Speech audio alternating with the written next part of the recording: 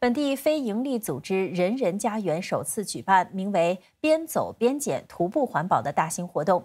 六百名志愿者沿着十条路线走入四个邻里社区清理垃圾，一天内捡起的垃圾总量多达三百公斤。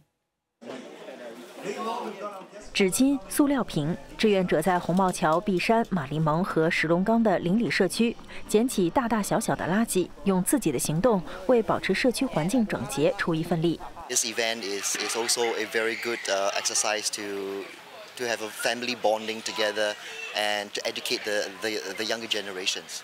We don't want a country that is clean by cleaners. We want a country that is clean because nobody is littering. And we are quite far away from that. 我国每年制造约八百万吨垃圾，相当于五十多万辆双层巴士的重量。出席活动的环境及水源部长马善高鼓励国人尽一份力，减少垃圾。